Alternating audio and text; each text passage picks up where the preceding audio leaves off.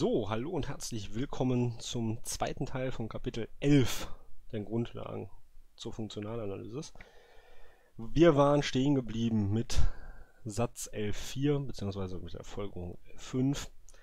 Und das war im Wesentlichen diese ähm, Aussage, dass der Integraloperator, den wir am Anfang definiert haben, wenn wir eine L1-Funktion reinstecken, auf eine CK-Funktion abbildet.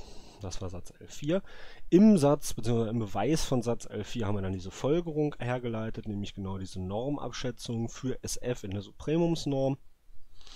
Das war sozusagen der letzte Schritt, wo wir stehen geblieben sind. Und jetzt wollen wir ein bisschen weitermachen und wollen passieren, oder wollen untersuchen, was passiert, wenn wir jetzt in SK nicht eine 1, in SKPA nicht eine einzelne L1-Funktion reinstecken, sondern eine ganze Menge von L1-Funktionen aber nicht irgendeine Menge, sondern eine beschränkte Menge. Und dann werden wir jetzt zeigen in Satz 11.6, dass dann natürlich was in CK rauskommt, ne? das muss nach 11.4 sein, aber wir wollen dann sogar sehen, dass das, was in CK rauskommt, tatsächlich gleichstetig ist.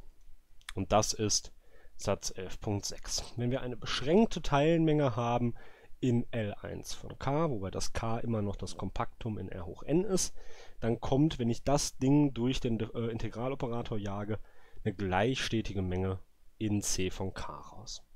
Ja, und das wollen wir jetzt erstmal beweisen. Ähm, ja, der Beweis, der ist jetzt nicht so wirklich ähm, tricky an sich. Wir brauchen nur quasi einen Input, in Anführungsstrichen.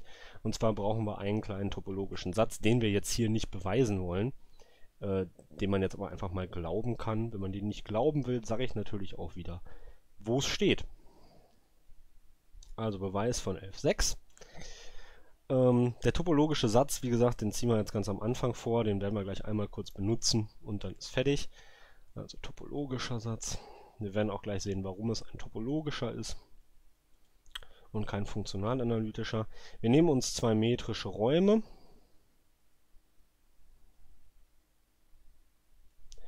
Und wir setzen voraus, dass M ein kompakter metrischer Raum ist. Und wir nehmen eine Funktion f, die soll stetig sein von m nach n. Dann ist das f sogar schon gleichmäßig stetig. Also das heißt, wenn ich meinen Urbildraum von f kompakt wähle, dann äh, ist Stetigkeit sozusagen äquivalent zur gleichmäßigen Stetigkeit, wobei mit dem gleichmäßig mit dem Äquivalent natürlich ein bisschen aufzupassen ist.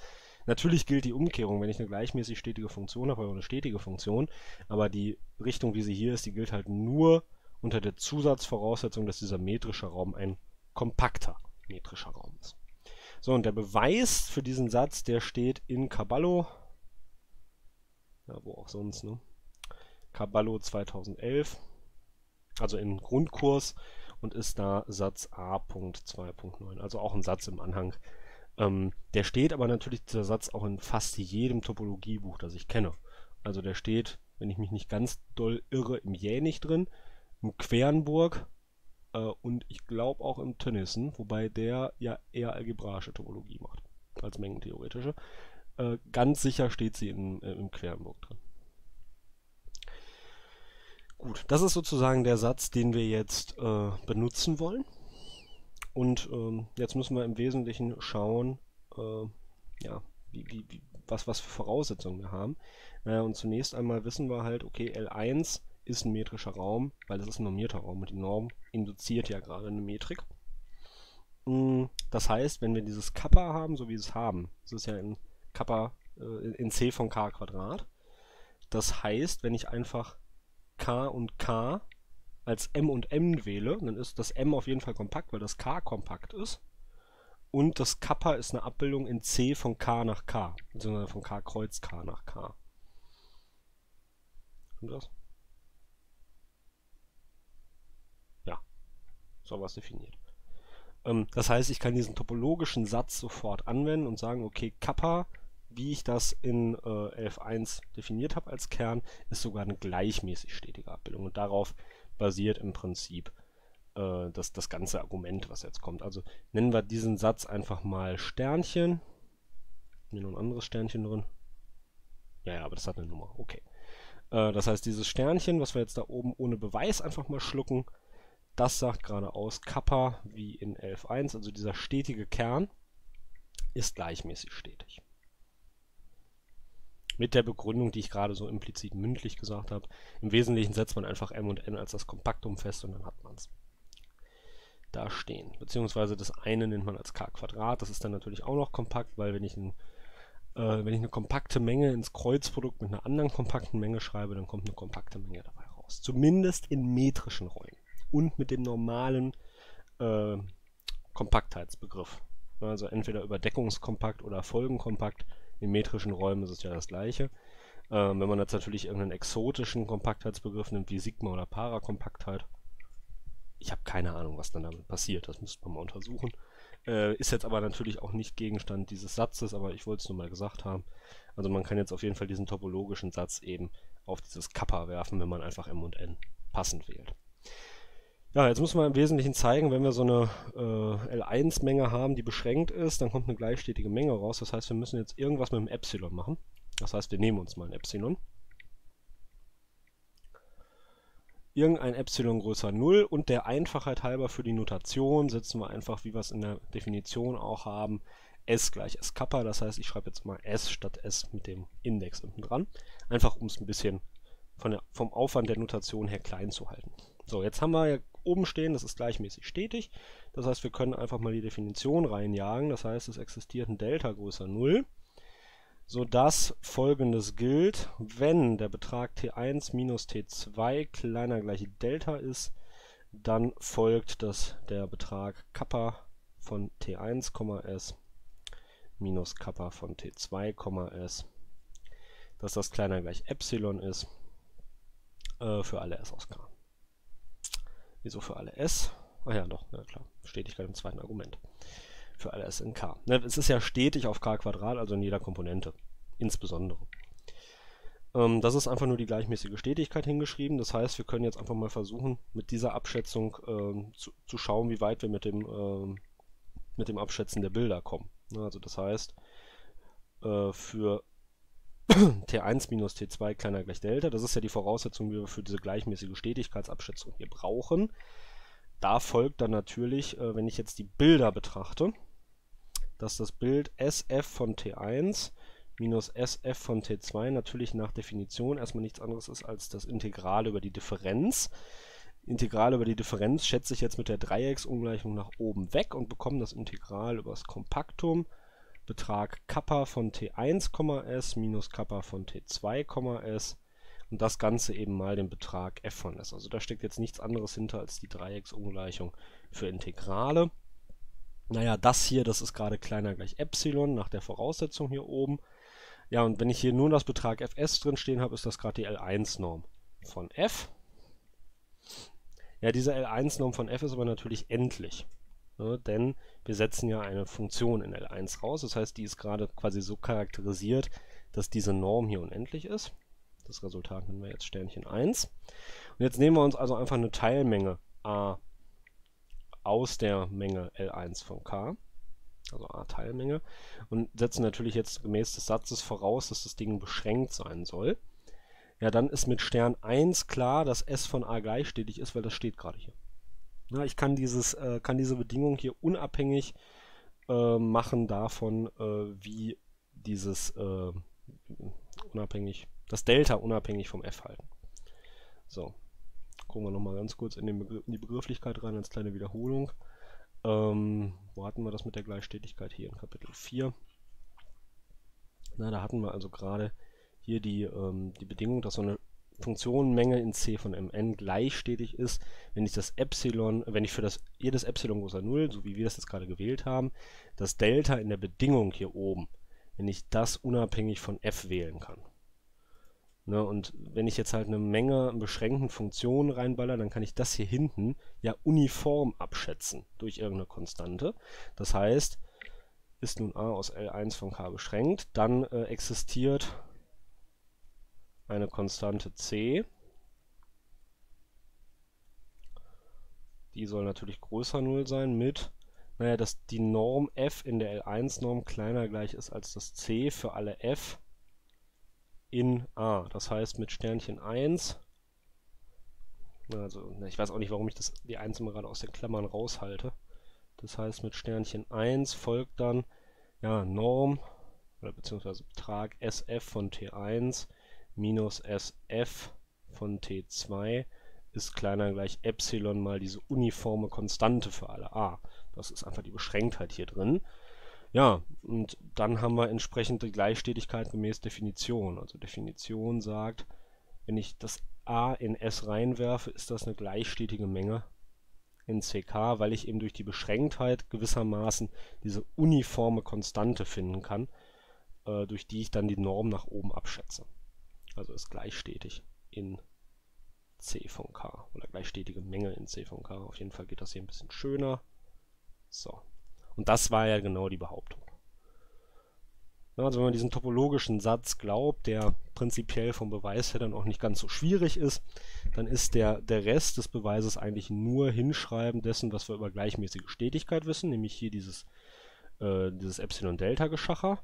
Dann müssen wir halt für die geeigneten T1, T2 einfach mal hinschreiben, was die Differenz der Bilder sein soll.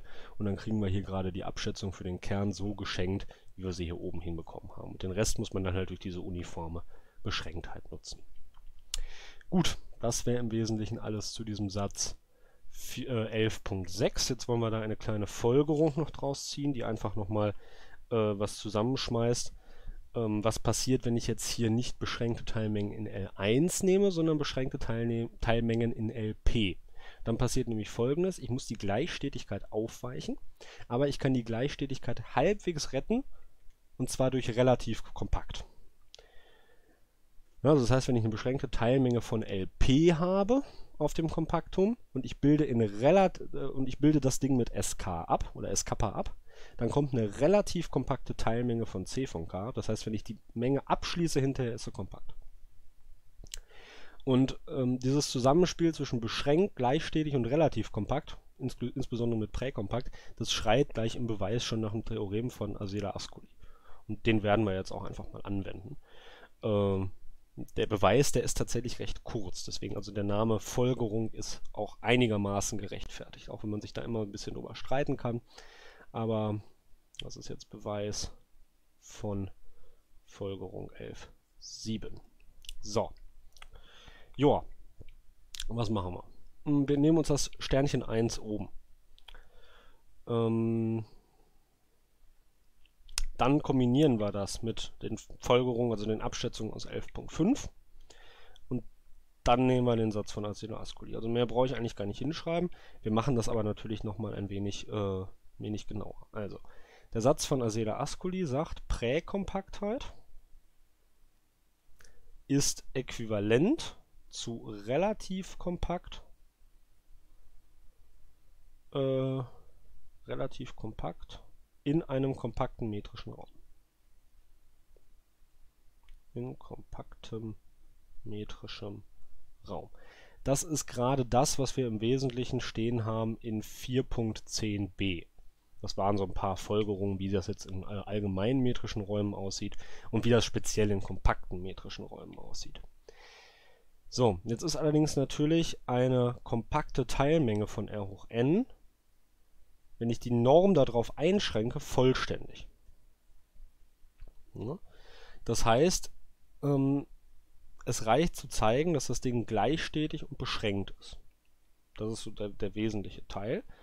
Also kompakte Teilmengen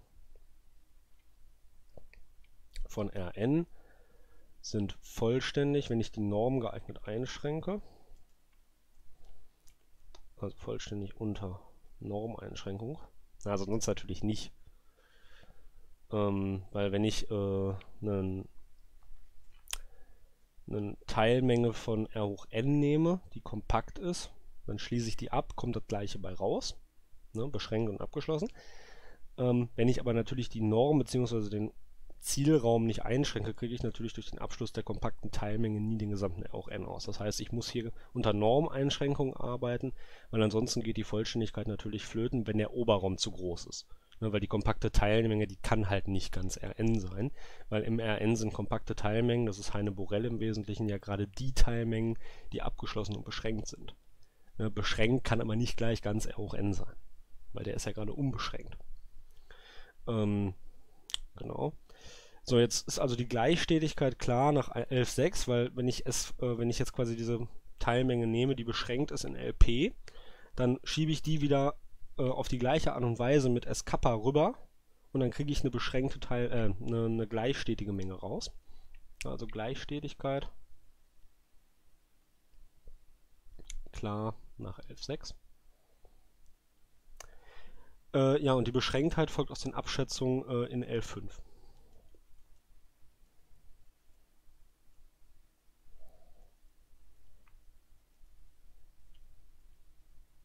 So, und warum das insgesamt reicht, gucken wir uns jetzt nochmal im Satz von Asela Ascoli wirklich an. Weil den, es, es ist besser, wenn man das vor Augen hat quasi. Weil dann sieht man ungefähr, wo wir hinwollen. Also wir wollen quasi dahin, dass wir sagen können, dass irgendwas relativ kompakt ist. Das heißt, wir wollen zeigen, dass es beschränkt, abgeschlossen und gleichstetig ist. So, jetzt können wir das kompakt mit 4.10b, ich hoffe, das ist die richtige Nummer gewesen, können wir, können wir präkompakt und relativ kompakt, können wir in vollständigen Räumen äquivalent ersetzen. Vorausgesetzt, wir haben quasi einen metrischen Raum im Hintergrund liegen. Beziehungsweise ein vollständiger Raum ist dann quasi äh, äh, vorhanden. So. Schwieriger deutscher Satz. Das heißt, wir können hier das Kompakt durch relativ kompakt ersetzen, weil wir eben diese Vollständigkeit voraussetzen können. Das ist der Teil hier. Der sagt uns quasi relativ kompakt, kompakt ist in dem Fall wurscht. Das nächste, was wir hier haben, ist, wir müssen dann zeigen, oder für den Asela Ascoli müssen wir dann zeigen, um zu zeigen, dass das hier relativ kompakt ist, dass es beschränkt, abgeschlossen, gleichstetig ist. Das wollen wir machen. So, Beschränktheit. Beschränktheit sind die Abschätzungen in 11.5, also diese, wo haben wir es? Hier, diese beiden. Die Abschätzung für die Supremumsnorm SF. Daraus folgt natürlich sofort die Beschränktheit des Bildes. Das ist ganz logisch. Ähm, was müssen wir dann als nächstes zeigen? Wir müssen zeigen die Gleichstetigkeit. Gut, die Gleichstetigkeit ist wiederum klar nach 11.6, weil das Bild geht nach dem analogen Argument natürlich wieder genauso in die LP-Norm über, nur dass hier halt ein P hoch 1 durch P steht. Aber die, das ist für die Dreiecksungleichung halt völlig egal. Beziehungsweise, wenn es nicht die Dreiecksungleichung ist, nimmt man entweder Hölder oder Minkowski. Also das ist ein analoges Argument. Naja, und abgeschlossen ist es durch die Kompaktheit. Das heißt, alle ähm, Voraussetzungen sozusagen, die im Satz von Asela Ascoli hier auf dieser Seite stehen, an diese Menge, an diese Funktionenmenge, die sind erfüllt. Das heißt, die Menge ist kompakt und relativ kompakt und kompakt ist nach 4.10b halt gerade äquivalent. Das ist der Weg dieses Beweises. Das heißt, hieraus ist quasi alles gesagt. Also es ist wirklich eine Folgerung. Ne? Man könnte eigentlich hinschreiben, folgt aus Sternchen 1, äh, L5 und Satz von Asela Ascoli. So steht es auch bei mir hier gerade äh, mit, mit zwei Zeilen Kommentar, nämlich diesen hier.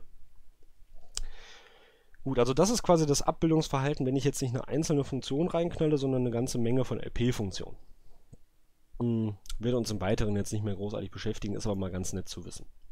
So, also wir waren hier stehen geblieben bei der 11.7 und jetzt werden wir halt eine kurze Bemerkung machen, nämlich wir wollten ursprünglich einmal, als wir das erste Mal diesen Integraloperator in Kapitel 7 uns angeguckt haben, da haben wir ja als einen der zentralen Resultate, wenn man das so nennen möchte, quasi gezeigt, was die Operatornorm ist, nämlich gerade die L1-Norm von äh, dem mh, von der Funktion, die da äh, reingesteckt wird. Und jetzt können wir zeigen, wenn wir den äh, Integraloperator wie in 11.1 nehmen, dieses S-Kappa, und wir betrachten die Operatornorm bezüglich L von CK, dann kommt gerade die Zeilenintegralnorm raus. Das heißt, in, äh, in, in, Formeln, es gilt dieser Zusammenhang. Wenn ich eben Norm von S Kappa nehme in der L von CK Norm, das müsste ein geschwungenes L sein eigentlich, ähm, dann kommt Norm Kappa in der Zeilenintegralnorm raus. Geschwungenes L. Ja, das ist also gerade ein stetiger Operator, von der Menge c von k in sich selbst. Das ist natürlich irgendwie logisch, weil das bildet ja sogar L1 in äh, c von k ab und c von k ist eine Teilmenge von L1. Ja, also das ist relativ klar, dass das, was da rauskommt, stetig ist. Im Wesentlichen ist es eine Verkettung stetiger Operatoren. Gut, ja, das müssen wir jetzt einmal kurz nachrechnen. Das geht aber auch relativ nett. Äh. So. Also, Beweis von 11.8. Also. Ja, was müssen wir zunächst mal zeigen? Wir müssen im Wesentlichen zwei Sachen zeigen. Einmal, ich, ich gehe nochmal kurz zurück. Äh, einmal müssen wir zeigen, dass die Operatornorm bezüglich L von CK kleiner gleich der Zeilenintegralnorm ist. Das ist gerade die Abschätzung L5b.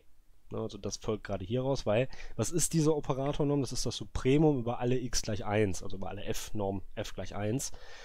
Und dann das Supremum über die Dinger genommen und dann sehen wir hier, das muss schon mal kleiner gleich als das sein. Ähm, weil eben hier hinten die Norm f gleich 1 wird. Warum ist es denn b? Ach ja, wegen der Zeilenintegralnorm. Logisch. Ne, weil die Norm hier hinten wird 1, wenn ich nur über die entsprechenden f äh, normiere, weil ich ja die Supremumsnorm habe. Die Supremumsnorm ist ja gerade der Fall unendlich sozusagen. Und dann bleibt hier nur noch diese Zeilenintegralnorm stehen, wenn ich hier die Operatornorm draufschmeiße. Das heißt, damit ist quasi die erste Richtung, also das Kleiner gleich abgefrühstückt. Das heißt, wirklich zeigen müssen wir nur noch, dass die Zeilenintegralnorm immer größer gleich als diese Operatornorm ist. Und das machen wir jetzt, nachdem wir kurz einmal aufgeschrieben haben, was ich gerade gesagt habe. Also kleiner gleich folgt aus 11.5b und nach Definition der Operatornorm. Das ist, glaube ich, selbstverständlich. Äh, ja, und jetzt müssen wir eben den anderen Fall äh, wegdiskutieren. Dafür nehmen wir uns jetzt mal wieder ein Epsilon größer 0 vor. Ne, standardmäßig. Also sei nun Epsilon größer 0. Ach, das ist ja Rechtsklick auf dem Stift. Man lernt nie aus. Ähm, ja, jetzt nehmen wir uns ein Tau aus K. Und zwar derart, dass die Zeilenintegralnorm von Kappa, also sei Tau aus K mit der Zeilenintegralnorm von Kappa, ist gerade genau das Integral über das Kompaktum Betrag Kappa von Tau, S. Also wir nehmen im Wesentlichen, wenn man sich an die Definition erinnert, steht ja hier eigentlich das Supremum vor, aber wir nehmen einfach genau das Tau raus, für das das Supremum erzeugt wird. Das spart ein bisschen Technik und das muss natürlich existieren, weil das zugrunde liegende, äh, weil die zugrunde liegende Menge ein Kompaktum ist. So, jetzt haben wir Beispiel 7.12 gehabt. Das war dieser Integraloperator äh, mit ähm, f in c von k und dann j von g von f. Das heißt, wir äh, wissen folgendes aus Beispiel 7.12 folgt. Ja, es existiert ein f stetig auf dem Kompaktum mit der Supremumsnorm von f ist kleiner gleich 1. Das alleine ist natürlich noch nicht spannend, aber jetzt kommt ein und. Und Norm S Kappa von f ist größer gleich als Betrag S Kappa F von Tau. So. Das heißt, hier setzen wir jetzt dieses Tau ein, wo gerade hier oben der genaue Wert der Zeilenintegralnorm angewendet wird. Diese Norm f sub kleiner gleich 1, das ist eigentlich nur dafür interessant, dass wir gleich den Bogen schlagen zur Operatornorm, aber das sehen wir dann gleich. Jetzt kann ich aber dieses Betrag sk von f einfach mal in die Definition von sk reinschmeißen. Das ist dann nämlich einfach der Betrag Integral Kompaktum Betrag, beziehungsweise ja, brauchen wir nicht, Kappa von t, s, Tau, s, Entschuldigung. Dann kann ich auch das Kappa nochmal richtig schreiben, also Kappa von Tau, s ds ja, und was haben wir eingesetzt? Wir haben eingesetzt das f. Das heißt, hier kommt mal f von s hin. Jetzt schätze ich das Ganze nach oben ab. So, und jetzt ist jetzt quasi umgekehrte Dreiecksungleichung. Also nach oben abschätzen heißt, ich habe hier das Integral über Kappa, Betra äh, über k, Betrag Kappa von t, Tau, s. Ne, wir haben immer noch dieses eine spezielle Tau. Und davon ziehe ich jetzt das Epsilon ab. Also das hier ist immer größer gleich als das. Ich lasse quasi das weg. Das kann ich machen, weil dadurch mache ich es maximal größer, weil die Norm f in der Supremumsnorm kleiner gleich 1 ist. Und dann ziehe ich nur das Epsilon sicherheitshalber ab. Ne, und dann lande ich auf jeden Fall bei größer gleich. Das hier ist aber gerade die äh, Zeilenintegralnorm von Kappa. Minus Epsilon. So, jetzt lässt man Epsilon gegen 0 gehen. Daraus folgt größer gleich. Und daraus folgt also insgesamt die Behauptung. Ich überlege gerade nur, was das mit Beispiel 7.12 zu tun hat. Äh, gucken wir nochmal ganz kurz rein.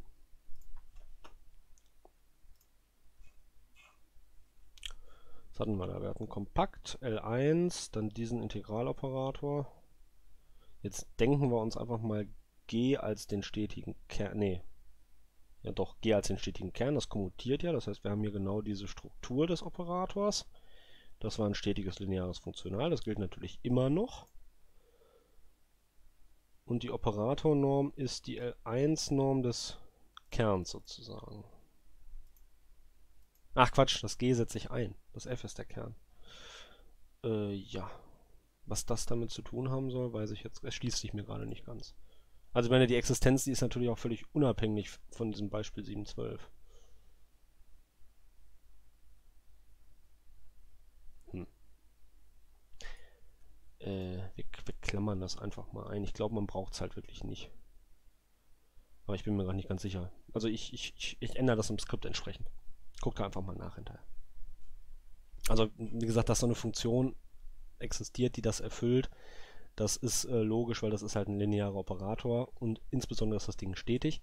Das heißt, äh, wenn ich hier die äh, Operatornorm bilde, dann kann ich ja das Supremum über alle Norm f sub kleiner gleich 1 nehmen und meine, da sind natürlich alle ähm, Funktionen in der Einheitskugel bezüglich der Supremumsnorm. Also dass das Ding existieren muss, das ist ganz klar. Und dass es diese Abschätzung erfüllt, das ist dann auch logisch, weil eben diese Zeilenintegralnorm existiert. Genau, also wie gesagt, der wichtige Trick ist dann hinterher diese Abschätzung mit der umgekehrten Dreiecksungleichung, dann das Epsilon gegen 0 schieben und dann hat man genau diesen Grenzübergang und damit diese große Gleichrelation. Weil das Epsilon eben beliebig war. Also ganz, ganz klassischer Standardtrick. So, jetzt überlege ich, was äh, strategisch sinnvoll ist. Nochmal cutten oder durch es kommt jetzt nur noch ein Satz, aber es kommt noch ein längeres Beispiel. Ich glaube, wir cutten einfach nochmal. Da haben wir zur Not drei kürzere Videos, aber das ist wahrscheinlich besser als jetzt so ein Mammutviech. Dann bedanke ich mich an dieser Stelle erstmal auch wieder beim Zuschauen beim Teil 2 dieses Videos, beziehungsweise dieses Kapitels und sage einfach bis zum nächsten Mal. Äh, Wenn es dann weitergeht mit Normabschätzungen für äh, spezielle Werte von P und Q in der Hölder-Ungleichung. Da werden wir uns noch ein paar von angucken. Und dann werden wir das Ganze mit dem Beispiel schließen, äh, das Kapitel mit dem Beispiel schließen, wo es dann äh, darum geht, warum die Differentialoperatoren ein bisschen hässlicher sind. In diesem Sinne, äh, wie immer, Fragen, Anmerkungen, Kommentare unten drunter. Und ansonsten bis zum nächsten Mal. Tschüss.